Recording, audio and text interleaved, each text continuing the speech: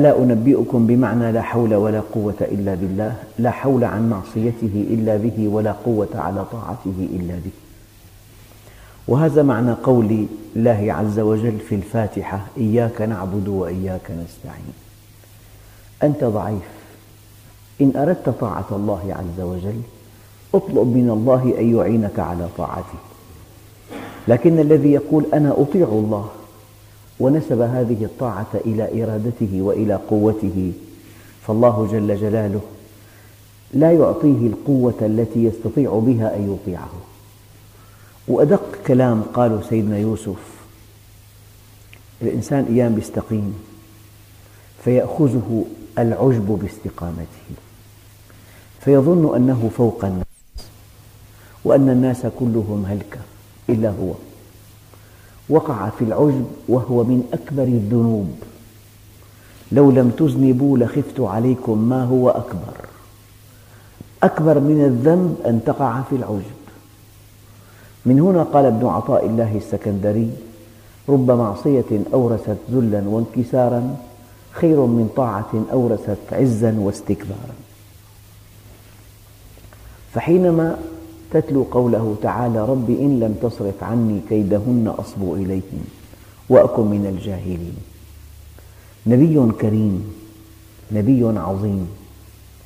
يرى أنه أضعف من أن يصمد أمام إغراء النساء. والإنسان حينما يعتد بنفسه في موضوع النساء قد يقع في شباك امرأة ليست بشيء أمام زوجته. يدع الحلال الهني ويتبع الحرام الشقي. إذا ربي إن لم تصرف عني كيدهن أصب إليهن سيدنا يوسف مفتقر في تركه للمعصية إلى الله. سيدنا إبراهيم قال رب اجنبني وبني أن نعبد الأصنام. يعني يا رب أنت إن لم تعني على ترك عبادة الأصنام لعبدتها كهؤلاء. وهذا لو طبقناه على أنفسنا. بتكون ذاهب إلى مكان بتلاقي ملهى كله سيارات في خمر في رقص في غناء قل يا ربي لك الحمد أن أعنتني على نفسي وابتعدت عن هذه الأماكن. هؤلاء الذين يرتادون هذه الأماكن أشخاص مثلنا. رأوا أن هذا مغنما كبيرا وسعادتهم بهذه الأماكن. أنت حينما تأتي إلى المسجد النظيف الطاهر تستمع إلى كلام الله أنت جئت إلى هنا باختيارك. أكثر الناس أو الذين يأتون في الصيف إلى بلدنا لا يستطيعون أن يصلوا الفجر لأنه للساعة خمسة سهرانين للساعة أربعة سهرانين في أماكن اللهو فالإنسان إذا استقام لا ينبغي أن يأخذه العجب باستقامته. ينبغي أن يذوب شكرا لله عز وجل على أن أعانه على استقامته. ألا أنبئكم بمعنى لا حول ولا قوة إلا بالله؟ لا حول عن معصيته إلا به ولا قوة على طاعته إلا به. مرة أحد الإخوة زارني في البيت.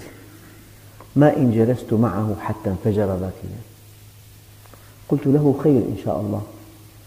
قال إنني أطلق بصري في الحرام. فأنا قلت له ببساطة اتب إلى الله. قال لي صرت تائب خمسين مرة. ما أدركت سر ضعفه أمام هذه المعصية. في لقاء ثان فيما أذكر وثالث إلى أن كشف لي الحقيقة. هذا شاب استقام وغض بصره أخذه العجب نظر إلى أبيه وأمه اللذين كانا سبب وجوده. رآهما ينظران إلى الحرام فاحتقرهما. واعتد بنفسه وبدأ يكيل لهما التهم الكبيرة اعتداده بنفسه وباستقامته واحتقاره لأمه وأبيه. بدل أن يشكر الله على أن مكنه من هذه الطاعة وبدل عن أن يشفق على أمه وأبيه أن لم يستطيعا أن يدركا هذه الطاعة أخذه العجب. كيف أدبه الله عز وجل؟ ضعف مقاومته. فانهار فهي لا حول ولا قوة إلا بالله. لا حول عن معصية الله إلا بالله ولا قوة على طاعته إلا به. هل تصدقون أن العمل الصالح الذي أكرمك الله به إذا نظرت على أنه من صنعك ومن جهدك يغدو حجابا بينك وبين الله؟ كم من إنسان محجوب بعمله عن الله؟ أنا عملت لحم من خيري خير إن شاء الله. أنا دعيت لله أنا علمت. أنا من ثلاثين سنة أدعو إلى الله. هؤلاء الذين لهم أعمال طيبة أحيانا يقعون في حجاب بينهم وبين الله من أعمالهم الصالحة. رأوها. لذلك المؤمن الصادق لا ينظر إلى عمله ولكن ينظر إلى فضل الله عليه. أن الله عز وجل على كل شيء قدير. يضعف لك مقاومتك قليلا. فيرتكب الإنسان أشد الحماقات. يعني أنا أعرف أناس كثيرين تورطوا في الزنا مع امرأة لا تساوي معشار ما عندهم في البيت. فالإنسان إذا قال لا حول ولا قوة إلا بالله يعني لا حول عن معصية الله إلا بالله ولا قوة على طاعته إلا به. يجب أن ترى فضل الله عليك بطاعتك لله. إذا هذه الطاعة تستمر. أما إن رأيتها من قوة إرادتك ومن حزمك ومن ضبطك لأمورك فربنا عز وجل بشكل بسيط جدا يزعزع قدرتك على مقاومة المعصية. فيقع الإنسان في المعصية. لذلك الآية الكريمة في الفاتحة إياك نعبد وإياك نستعين. أي نستعين على عبادتك. يعني أنا أقول لبعض الإخوة الأكارم يعني إذا كان ضعفت عن طاعة الله استعن بالله على طاعته. ما كان الله ليعذب قلبا بشهوة تركها صاحبها في سبيل الله. بعينك. والله عز وجل يعني يعطيك قوة مقاومة تلاقي حالك بعيد. أيام إنسان بيسافر. إذا قال أنا وأنا وأنا تضعف مقاومته في السفر فتلاقي يقع ببعض المعاصي. إذا إنسان قال إياك نعبد وإياك نستعين تلاقي عنده قوة مقاومة عجيبة. فقوة المقاومة هذه تتأتى من استعانته بالله لا من اعتداده باستقامته. أنا الآن عم أعالج أمراض رواد المساجد. أمراض المؤمنين. هؤلاء المتفلتين لا شأن لي بهم, بهم إطلاقا. لهم معالجات خاصة عند الله. نحن ننظر إلى هؤلاء الذين يصلون ويستقيمون ويصدقون ويغضون أبصارهم. عندهم مزالق. أحد هذه المزالق أن يعتدوا باستقامتهم أن يتباهوا بها أن ينسبوها إلى قدراتهم الذاتية أن ينسبوها إلى جهدهم. أما الأنبياء صلوات الله عليهم وسلامه أجمعين مفتقرون إلى الله دائما حتى في طاعتهم حتى في إقبالهم. فما في حدا أكبر أن الله يضعف له مقاومته؟ وما في إنسان مهما كان ضعيف أصغر من أن يأخذ الله بيده إليه فيحميه من المعاصي والآثام. واحد يسافر لبلد أجنبي. يقول لك أنا عندي قناعات أنا إيماني قوي ما بتأثر آه، ضابط أموري ما بيهمني شيء. بتزل قدمه وبيقع بالمعصية. يطلع إنسان مستعين بالله. إلى بلاد الفجور والمعاصي. تلاقي وهو هناك غض بصر وإقبال على الله وتلاوة قرآن. أنا بسمع من الذين يأتون من بلاد الغرب تلاقي شاب عادي جدا رجع داعية من هناك وشاب آخر رجع زاني فالقضية خطيرة جدا بين أن تعتد باستقامتك فيضعف الله لك مقاومتك تأديبا لأنك أشركت به وعزوت هذه الطاعة إلى ذاتك وبين أن تفتقر إلى الله في طاعتك. يأتيك المدد من الله عز وجل ويقويك على كل الإغراءات. وأكبر دليل أن سيدنا إبراهيم وهو أبو الأنبياء يستعيذ بالله من أن يعبد الأصنام. معقول؟ نبي كريم من أولي العزم يستعيذ بالله أن يعبد الصنم. رب اجنبني وبني أن نعبد الأصنام. إن لم تصرف عني كيدهن أصب إليهن وأكن من الجاهلين. إذا عن أبي موسى رضي الله عنه أن النبي صلى الله عليه وسلم قال له قل لا حول ولا قوة إلا بالله فإنها كنز من كنوز الجنة متفق عليه. وفي رواية النسائي من قال لا حول ولا قوة إلا بالله كانت دواء من تسعة وتسعين داء أيسرها الهم. دواء من تسعة وتسعين داء أيسرها الهم. أنا علي يطيع الله عز وجل وعلى الله الباقي لا حول ولا قوة إلا بالله. كل شيء وقع أراده الله. إذا الإنسان آه، هي اسمها حوقلة. إذا الإنسان يعني أصابته مصيبة فحوقل قال لا حول ولا قوة إلا بالله. يعني شيء وقع لا بد من وقوعه. ما عاد في ندم ما عاد في هم ما عاد في حزن. لحكمة أرادها الله سمح بوقوع هذا الشيء. خلاص. لأن الله عز وجل لا يقع في ملكه إلا الذي يشاءه ويرضى. لا يقع في ملكه شيء. ما دام الشيء وقع لو بدا لك أنه شر هو خير إن الذين جاءوا بالإفك عصبة منكم. الحقيقة الإفك يبدو أنه شر. يعني إنسانة طاهرة عفيفة زوجة رسول الله اصطفاها الله له من بين نساء العالمين سيدة عائشة. يعني لأسباب تافهة جدا اتهمت بالزنا لأنه وزنها خفيف فلما حملوا الهودج ما انتبهوا أنه خفيف الهودج ظنوها بالهودج ومشيوا لو أن قرطها لم ينقطع فذهبت لتبحث عنه ما كان في حديث أفك. انتهى الحديث كله.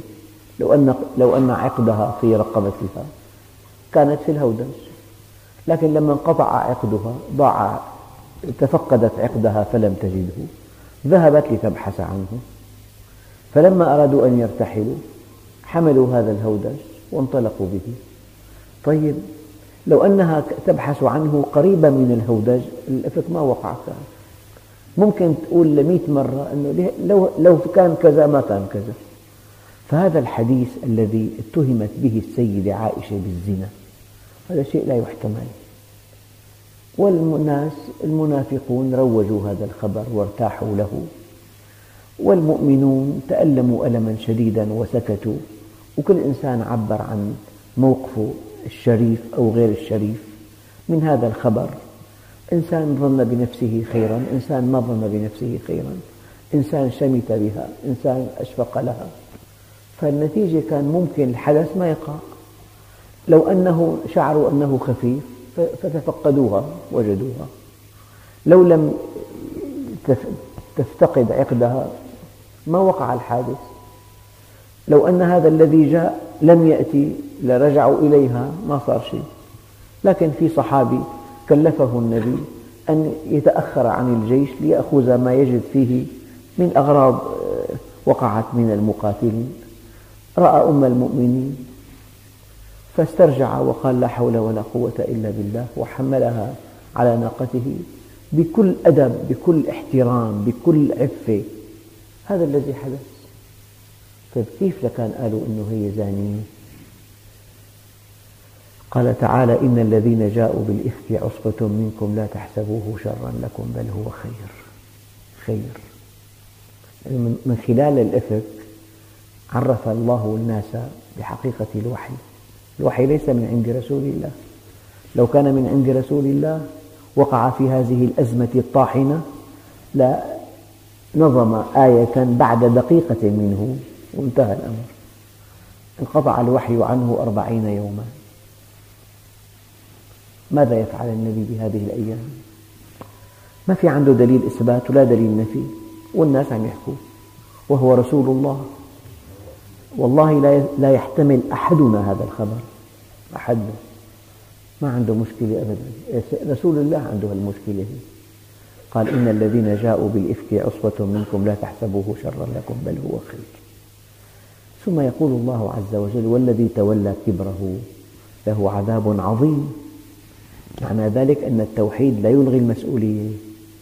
إذا قلت هذا قضاء وقدر هذا نصيبه هيك الله أراد معنى ما في مسؤولية. كل إنسان محاسب عن أعماله. إذا النبي عودنا وأمرنا أن نحوقل حينما نتلقى خبرا سيئا. لا حول ولا قوة إلا بالله. شيء وقع. ما دام وقع أراده الله. ما دام أراده الله في حكمة بالغة. ما دام في حكمة بالغة في رحمة مطلقة. خلاص. ما عاد في هم. انتهى الهم. ما عاد في ندم. ما عاد في لو. ما عاد في يا ريت. كله انتهى هذا. والإنسان لما ما بيندم بيرتاح. ليس في الإمكان أبدع مما كان. طبعا الله عز وجل فرز المؤمنين. فرز واحد عنده مثلا قطع ذهب كثيرة في 24 في 18 في 16 في 11 في 8 في نحاس مصري ذهب في نحاس ملمع في تنك كله أصفر. فرز لنا إياهم يا أخي. الله فرزهم. فرز الناس كلها بهالقصة. المؤمن قال معاذ الله هذا بهتان عظيم. ولولا إذ سمعتموه ظن المؤمنون والمؤمنات بأنفسهم خيرا. وقالوا هذا بهتان عظيم مستحيل. المنافق سمعت شو صار دريت هي اللي عاملة حالة آدمية. المنافق حكى شيء والمؤمن حكى شيء وانفرزوا الناس. وبين الوحي ليس من عند رسول الله الوحي من الله. والله يعني أراد أن يبين أن الوحي مو من عندك. أربعين يوم بلبلة حكي. قصص كلها كذب. الناس في حيرة. فلما نزلت آية البراءة قالت أمها لعائشة قومي إلى النبي فاشكريه. قالت والله لا أقوم إلا لله. على مسمع النبي تبسم النبي وقال لقد عرفت الحق لأهله. النبي موحد لأنه يعني قد لا يقبل شيخ أن يقدم لك خدمة وتقول والله لا أشكر إلا الله. ما يقبل منك. النبي قال عرفت الحق لأهله. يا أيها الإخوة هذه القصة مفيدة جدا. لا تقول لو كله خير بس في خير ظاهر في خير مبطن. خير ظاهر خير مبطن. لذلك قل لا حول ولا قوة إلا بالله فإنها كنز من كنوز الجنة. متفق عليه. وفي رواية للنسائي من قال لا حول ولا قوة إلا بالله كان دواء من تسعة وتسعين داء أيسرها الهم ما عاد فيهم. شيء وقع. بس تلغي لو ترتاح. بس تلغي لو. أيام لسبب تافه جدا أيام. عم توقع معاملة وقع لك إياها رجعت سألته سؤال ثاني هات شو؟ لا لا ممنوع يا لك ليش ما رجعت لعنده؟ مشيت البضاعة؟ لا. وقف لك إياها هات الوثيقة الفلانية ما معك الوثيقة. راحت ست أشهر خسرت. تتألم أشد الألم. لك لو, لو ما رجعت لعنده وقعه ومشي الحال. لا تقول لو بس تقول تلغي لو بترتاح بقاموس المؤمن ما في لو. سافرنا سفرة صار معنا حادث لكن لو ما سافرنا؟ لا. لكل شيء حقيقة وما بلغ عبد حقيقة الإيمان حتى يعلم أن ما أصابه لم يكن ليخطئه وما أخطأه لم يكن ليصيبه. بس توحد ترتاح. بس تعرف أنه في يد حكيمة بيدها كل شيء. لا تسمح بوقوع شيء إلا لحكمة بالغة ولخير مطلق. ينتهي الأمر. والعبرة بالنهاية والعاقبة للمتقين. فهي درس اليوم لا حول ولا قوة إلا بالله. لا حول عن معصيته إلا به ولا قوة على طاعته إلا به ولا حول ولا قوة إلا بالله. ما في لو يعني يلي وقع أراده الله. والله إرادته تنطبق على الحكمة المطلقة وحكمته المطلقة تلتقي مع الخير المطلق. إذا شر مطلق بالكون ما في. لأن الشر المطلق يتناقض مع وجود الله. كله خير. إجاك أولاد ما إجاك أولاد آه، دخلك كبير دخلك قليل. يا ريت ما بعت المحل كنت هلا عايش ببحبوحة كبيرة رحنا بعناه وتورطنا. أكثر كلام الناس في ألم وحزن وندم. لو ما أخذت فلاني أخذت فلاني كان ما كان هيك وضعي. لا تقل لو إطلاقا. قل قدر الله وما شاء فعل قل لا حول ولا قوة إلا بالله والحمد لله رب العالمين.